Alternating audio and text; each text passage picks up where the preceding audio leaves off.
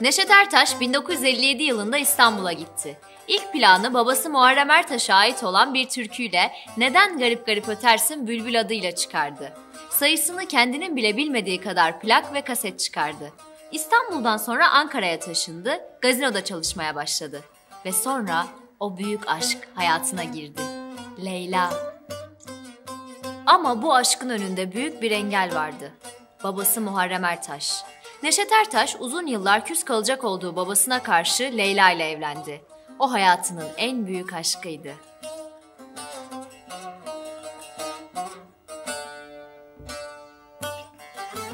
Yazımı kışa çevirdim Karlar yağdı başa Leyla'm Yazımı kışa çevirdim. Kar yağdırdım başa Leyla'm. Viran oldu evim yurdum. Ne söylesem boşa Leyla'm. Ne söylesem boşa Leyla Ertaş'la evliliğinden Döne, Hüseyin ve Canan dünyaya geldi.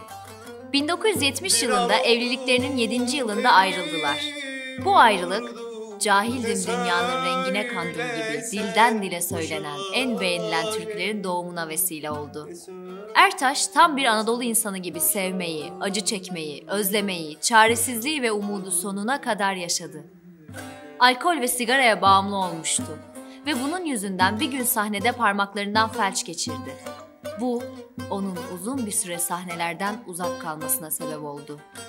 Bozkır'ın tezenesi bir süreliğine sustu.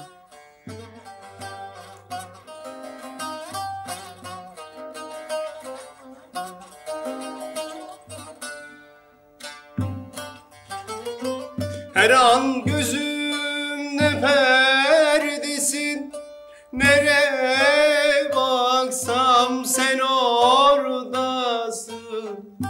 Mevlam ayrılık vermesin. Göğe uçan kuşa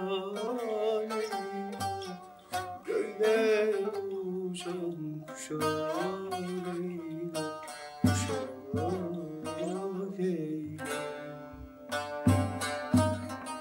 Mevlam ayrılık Göğde uçan kuşa Leyla Göğde uçan kuşa Leyla Kuşa